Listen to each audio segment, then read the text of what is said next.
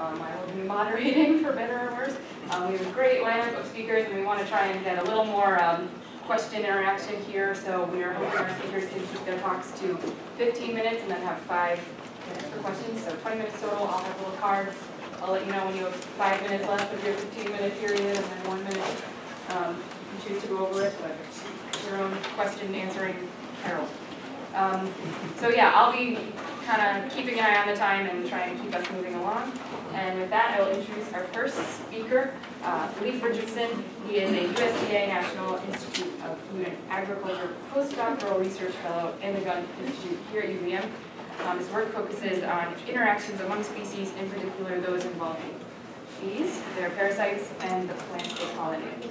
He also studies the causes and consequences of bee species declines, and his talk is entitled "The Decline of Bumblebee Species Diversity in Vermont, 1900 to, oh, 1915 to 2014. This is a little bit, sorry, okay, thanks. Hi.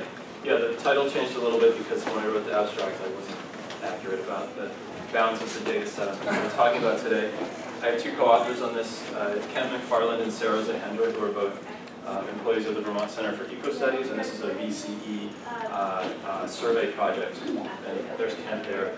Um, so I'll be talking today about um, the bumblebees that are native to Vermont um, and what has happened in the last century of record keeping.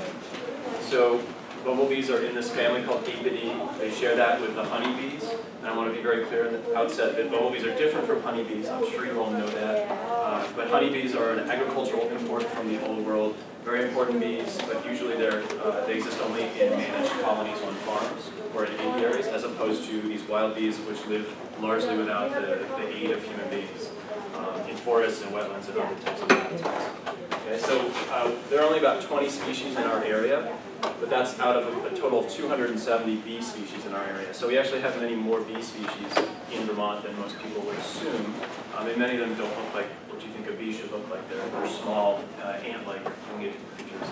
Um, the reason to spend any time on this taxon, I think, is that they're very important uh, keystone species in ecosystems and also very important to human agriculture.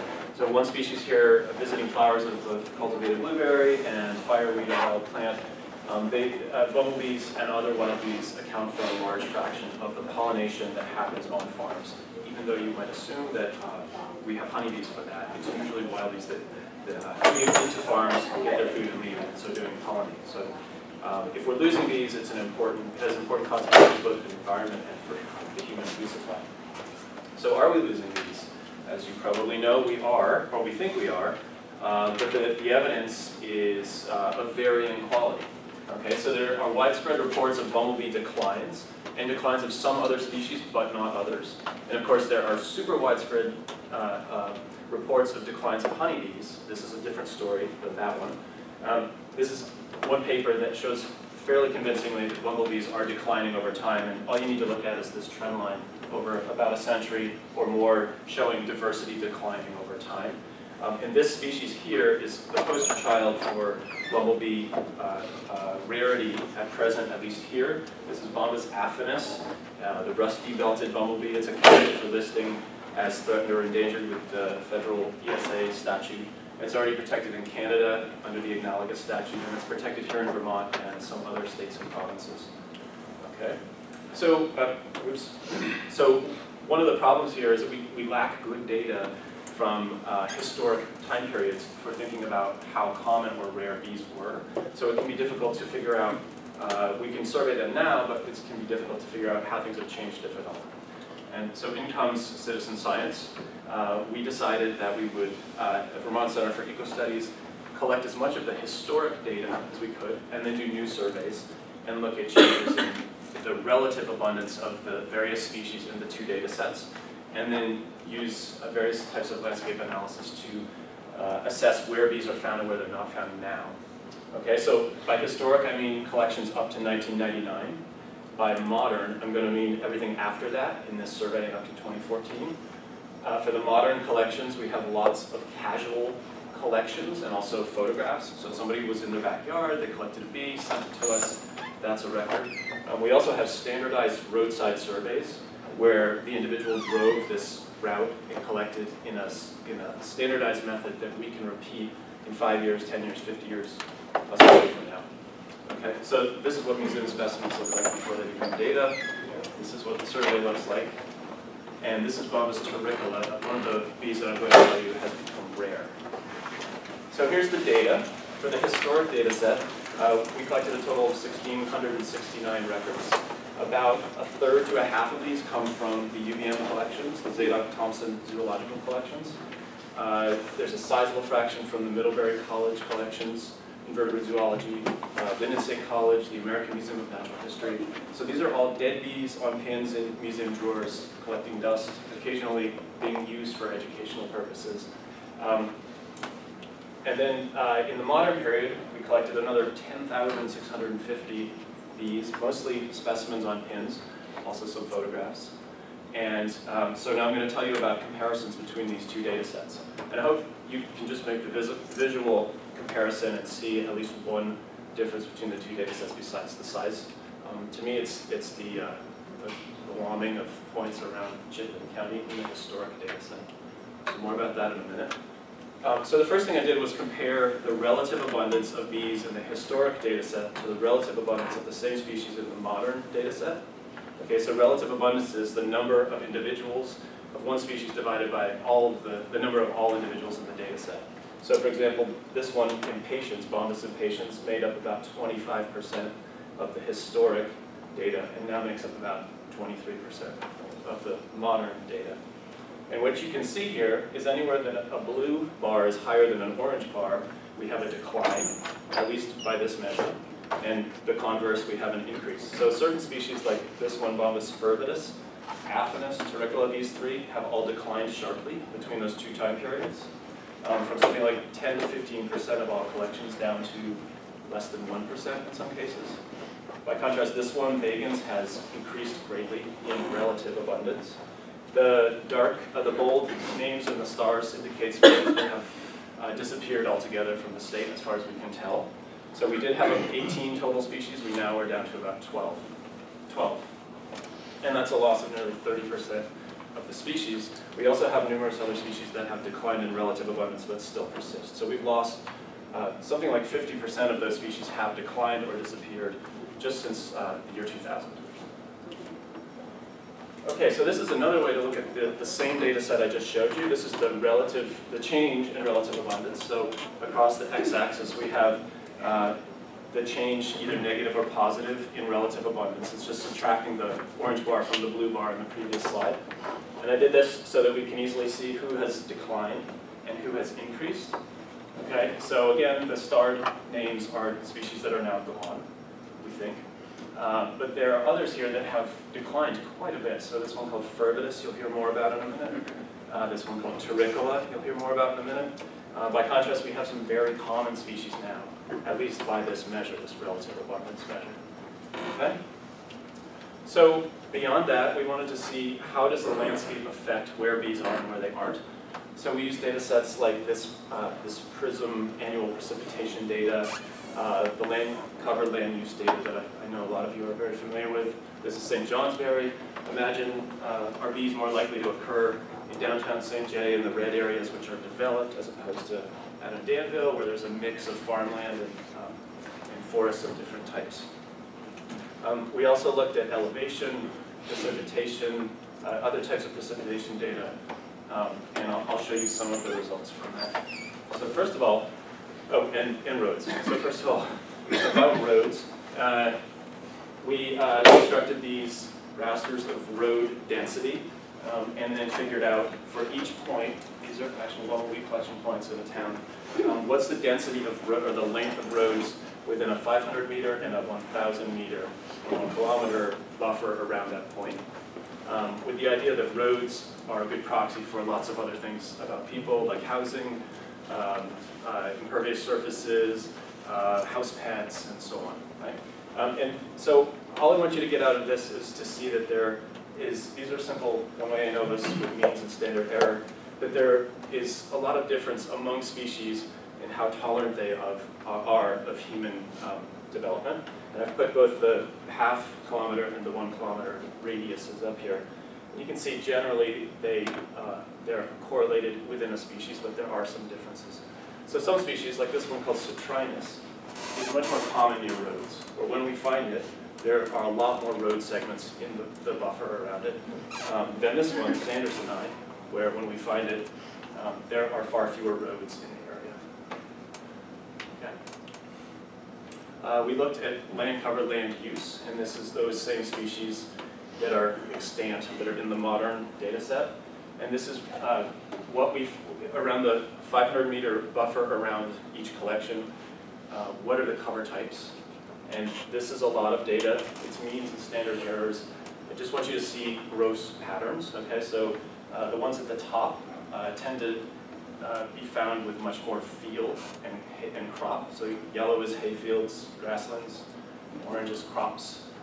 Uh, By contrast, the ones down here tend to be found in association with much more forest. So hardwoods mixed and just, and uh, evergreens. And um, so this is just to show you that there are differences in the state of where, where we find the different species. Um, and so that leads us to thinking about whether the modern data set is a good proxy spatially for the historic. And obviously it isn't just from a visual comparison. So we also subsampled the modern data, just pulling out only the points that occur near the historic data points within five kilometers of them. And I want to go back to this figure where I showed you which species have declined and which have increased. And now if we throw up the same data, but from, the same comparison, but only with the subset of data, uh, we see some differences. So this species, which we would have thought was declining, is actually increasing in Vermont. Uh, and some of the ones that we thought increased the most have actually increased a little less than, um, than what we thought. And two pictures of winners and losers. Uh, that's a loser, Bombus fervidus, it's a grassland species, probably nests on the surface of the soil rather than underground, and um, in hayfields. And this is Bombus vagans, it's a forest bee, it's a, it's a tolerant bee, it lives in lots of different places. Okay, so quickly, the standardized roadside surveys. Um, About fifty-eight percent of this data was collected in these, in these um, uh, standardized uh, road um, surveys. So each one of these little blobs is a series of points where we drove every kilometer we got out of the car and we caught bees for 10 minutes, and then we drove another kilometer. And at each point, we recorded the plants, the weather, um, and other aspects of uh, the survey. So we surveyed 64 in- independent routes, about two times each, uh, almost 1,300 individual stations along all of those routes. And this is over three years, but I'm showing you two years of data. Um, This is Bombus ternarius, one of the common ones. So what we found, um, and this is, this is important because this is the data that we can repeat in the future. This is the survey that we can repeat indefinitely and get this, we can expect that we're holding everything else the same except changes in bee abundance and diversity. So we had about five bees per station, uh, 10-minute collection, almost two species per station. Um, uh, We had almost 20% of the stations no bees in the 10-minute time period. Uh, And we looked at which plants that bees were foraging on. Um, About a third of the stations, the plant, the bees were only taken from native plants, and half of the stations only from weeds. And this is important because we're thinking about whether we're accurately sampling the whole landscape by just looking at roadsides. Are weeds considered then invasive? I, by that I mean non-native plants. Non-native. Yes, Okay. sorry. Um, so here's a, uh, this is uh, Bombus griseocollis on a weed, a non-native plant, and Bombus ternarius on a native solidago. Okay, so uh, we also looked at the effects of diverse, of uh, landscape metrics on diversity and abundance. So we have here Shannon's H diversity index, also simple richness or counts of species, and abundance. And this is a lot of information, so just focus there. Um, these are, um, so the, the statistically significant effects have um, pluses and minuses over there.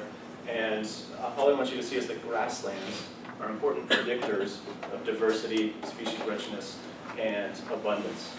Okay, and also that forests are significant predictors of abundant, abundance. When you say grassland, you include like goldenrod fields, things like that? Yeah. Only. Um, So I should have said this, but I lumped uh, what is called a grassland, what is called a a hayfield for this. So it's not, they're not native grasslands or know, an, a ecosystem that, a An natural old field. community that perpetuates, perpetuates itself. An old field. An old field. All would be in it. Yeah. But like sure. a, a, a field full of goldenrod, would- it wouldn't just be all OACA No, necessarily? no, it's, uh, it's, that, that's in this, yeah. Okay, um, there's, okay, and so, uh, I just wanted to also show that uh, elevation is important, uh, for some of these measures, but, um, not, and so I also have this data for the one kilometer, but at the five hundred meter elevation it's not important. Well, Yeah. How do we know what's diversity and abundance? Uh, sorry, so everything here is Shannon's H diversity. Everything here is just the abundance, and everything here is richness. So for all three separate analyses, uh, grasslands are a significant predictor of, of these response variables. Okay, so some quick conclusions. Um, Vermont has lost a large fraction of what is a key pollinator taxon, uh, the genus Bombus. Um, these declines are potentially linked to land use change, we know from other, other work, and um, so we actually have the data in Vermont to ask whether land use changes over time parallel the, the declines in the species that we see. Um, we need more assessment of local threats, and by that I mean things like pesticide application um, and land use conversion. And finally, I think it's worth thinking about uh, whether uh, what's happening with the other 250 species of pollinating bees uh, that occur here. So this is just 18 species. There are lots of others that are not part of this survey.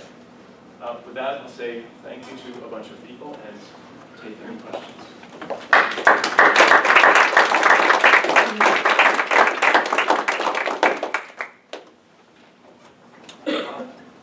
It seems like the, just the nature of the sampling would favor edge habitats.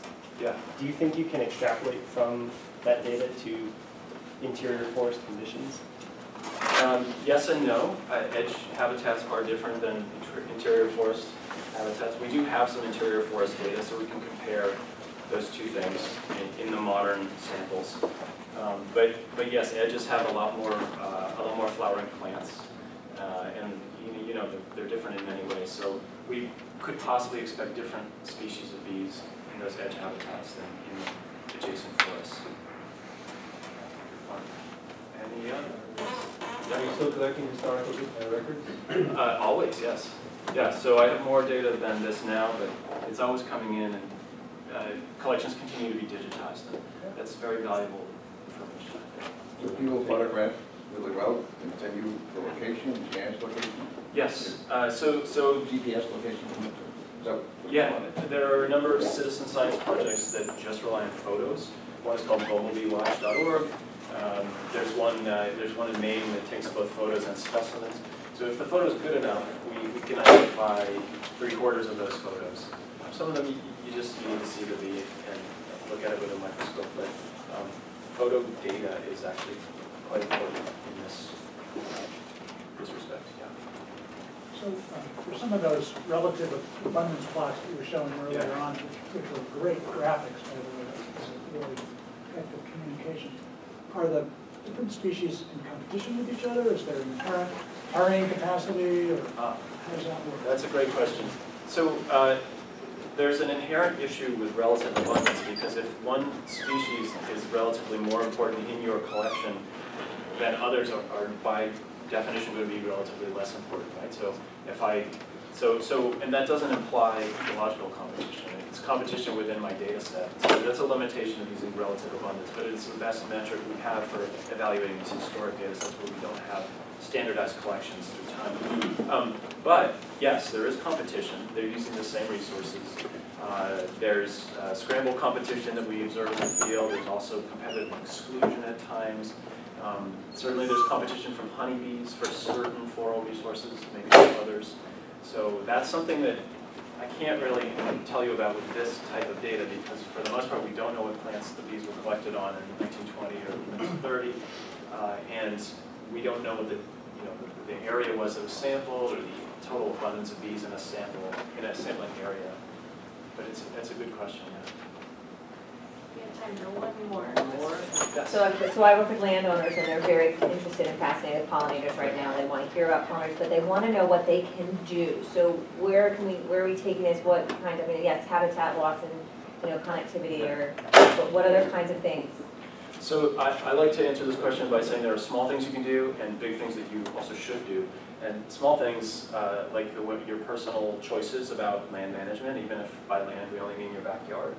Uh, so minimizing use of pesticides, uh, herbicides and fungicides also can have negative consequences for bees. Um, sometimes planting native plants and also frankly non-native plants can help bees. Uh, probably not converting native types of habitats to, um, to suburban or, or higher levels of development. Uh, But then there are bigger things like, like, uh, like halting climate change. We know that climate change is affecting this taxon in particular. Bumblebees are, are uh, retreating from the south but not moving north as the, the world warms. And so, um, big things like that are also important, and maybe you vote with your feet or your dollars in that sense. Yeah. Yeah, I think we have to stop it. Yeah, I think we have You and I to move on, but maybe you guys can Yeah. catch up the Okay. official hour. Thanks. Well, thank you so much.